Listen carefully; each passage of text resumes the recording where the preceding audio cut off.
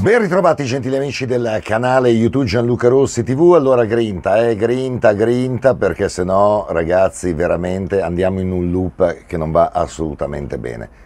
Eh, questo è il video editoriale delle pagelle, anzi delle pagellacce, perché ancora una volta come col Sassuolo le pagelle sono complessivamente brutte e non potrebbe essere altrimenti per una squadra che ha fatto un gol in quattro partite, non ne ha fatto nessuno nelle ultime tre partite, e devo dire ha fatto un punto in due partite contro avversari, posso dire, secondo me assolutamente alla portata. Sono particolarmente contento che martedì ci sia il derby. Qualcuno dice finalmente finisce febbraio, il mese nero, io non ho queste scaramanzie, queste superstizioni, però vabbè, diciamo che il derby è il primo marzo e quindi tiriamo una riga su un mese dove effettivamente abbiamo fatto male, molto male. Ehm, francamente troviamo una squadra, il Milan, che come noi sembra, usiamo la parola crisi ragazzi, perché qua nel calcio si usa sempre la parola crisi o comunque infrenata, il Milan reduce a sua volta da due pareggi insomma imprevisti, abbiamo perso l'occasione di eh, affiancarli in classifica, smettiamola di pensare a questa stramaledetta partita col Bologna che dobbiamo recuperare, fingiamo che noi dobbiamo andare in vetta anche con una partita in meno. Per andare in vetta anche con una partita in meno dobbiamo, non, non dipende solo da noi, dobbiamo naturalmente sperare in un certo risultato per quanto concerne Napoli-Milan e poi il Napoli deve ancora giocare a Roma con la Lazio e dobbiamo domani e dobbiamo naturalmente battere la Salernitana. Questo è l'obiettivo insomma per il prossimo fine settimana, ma siccome prima abbiamo il derby sono particolarmente contento che ci sia questa partita perché ovviamente chi la perde è in crisi, a questo punto sì, e, e, non è che chi la vinca sia uscito dalla crisi perché è una competizione diversa, è la Coppa Italia, però io devo capire fino a che punto eh, siamo, siamo insomma in ambasce, siamo in difficoltà.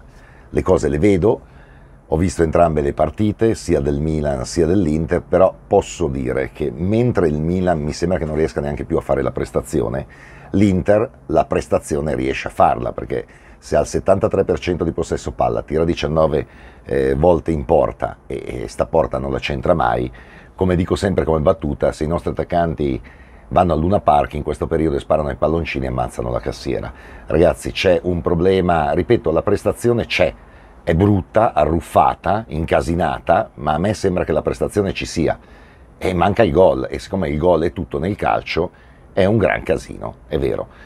Forse abbiamo, abbiamo faticato moltissimo, ma questo un po' me l'aspettavo per arrivare da quei meno 7 ai più 7, però indubbiamente non era previsto che eh, rallentassimo in questo modo, almeno non credevo.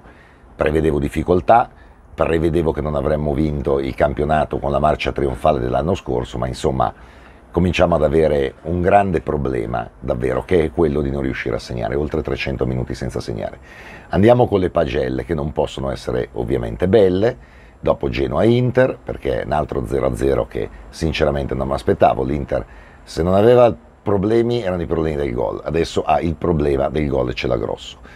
Allora Andanovic, Andanovic gli diamo 6, stavolta non credo che ci sia da prendersela con Andanovic, praticamente ha un buon riflesso anche su, su quel destro che cambia un po' direzione per il vento di Melegoni. Danilo D'Ambrosio gli do 6 perché poi alla fine è quello che firma l'occasione più pericolosa, ossia la traversa, devo dire abbastanza clamorosa nel secondo tempo.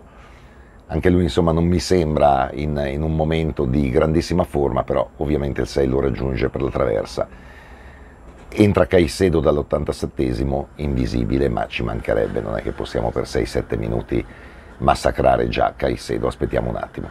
De Vrij mi sembra che sia in ripresa, un pochino Yebuola ha messo in difficoltà all'inizio, poi però gli ha preso le misure, se l'è cavata bene con Callon, io credo che si possa dare 6 a De Vrij. Bastoni non mi è piaciuto, ragazzi. Bastoni non mi è piaciuto, 5,5, è stato impreciso nella costruzione, ha fatto confusione, non mi è piaciuto. Come non mi è piaciuto nemmeno Dumfries, perché un paio di colpi di testa sul secondo palo, poi un tiro preparatogli bene, sparato alle stelle, ragazzi, 5,5. In ombra anche Brozovic, 5,5, eh, niente da dire è in ombra in questo momento, malgrado aspettassimo tutti il rientro di Brozovic per dire ecco con Brozovic siamo un'altra squadra, al momento non siamo un'altra squadra, 5 e mezzo. Barella male, male veramente, devo dire il peggiore in campo in rapporto alle sue qualità, gli devo dare 5 perché lo vedo proprio stanco, il più giù di corda, non gli riesce assolutamente nulla. È entrato Di Marco poi negli ultimi minuti senza voto, provato a calciare qualche, a tirare qualche calcio piazzato ma niente di più. Cialanoglu rasenta la sufficienza ma gli do 5,5 perché comunque al di là di aver provato, cercato e essere andato vicinissimo al gol nei primi dieci minuti mi sembra che sia sparito anche lui, quindi le punte sono state anche servite male, quindi ho bocciato tutto il centrocampo, 5,5. Vidal è entrato 5,5 pure lui, perché al di là di un buon recupero ha sbagliato un sacco di, di appoggi. Quando Arturo entra male non, non, non, non risolve niente, 5,5. 5,5 anche a Perisic, è un altro che è stanco, è stato anche ammonito, non è stato il solito, il solito treno sulla sinistra, 5,5. Sostituito da Vessino, Vessino senza voto, cioè non ha avuto il tempo neanche di farsi vedere. E veniamo, devo dire, alle punte. Alle punte mi spiace, ma devo dare assolutamente 5 ad Alexis Sanchez. Dovrei dargli pure 4,5, ma poi vi arrabbiate, allora diciamo che gli do 5. Invisibile, semplicemente invisibile. Io non l'ho mai visto. Mi spiace, ma non... Sanchez che parte dall'inizio non riesce mai ad incidere, cioè questo è un fatto abbastanza acclarato. Quindi mi spiace, 5 credo che abbia inciso solo una volta in Coppa Italia con la Roma, partendo da, credo, eh? adesso non, non, mi ricordo.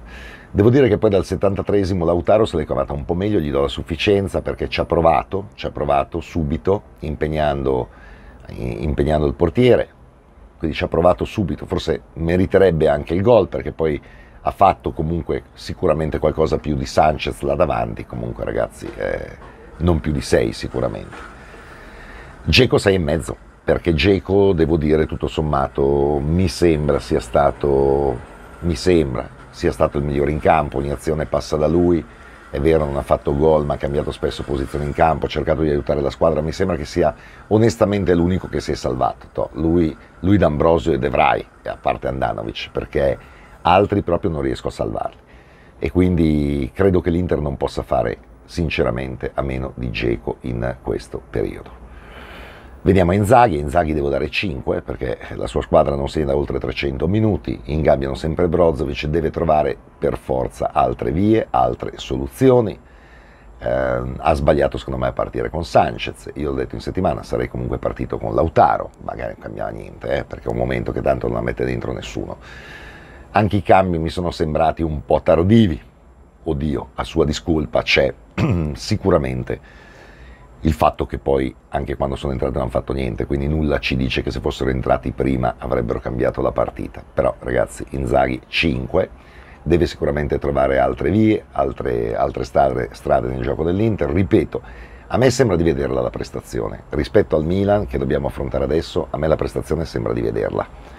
Però è una mezza prestazione, sempre. Mezza prestazione secondo tempo col Sassuolo, un quarto d'ora di sofferenza col Genoa, poi prestazione arruffata. Ecco, l'importante è che la prestazione ci sia, però nel calcio, il calcio è uno sport molto semplice, noi ci arrovelliamo su chissà quali filosofie e soluzioni, qua bisogna far gol.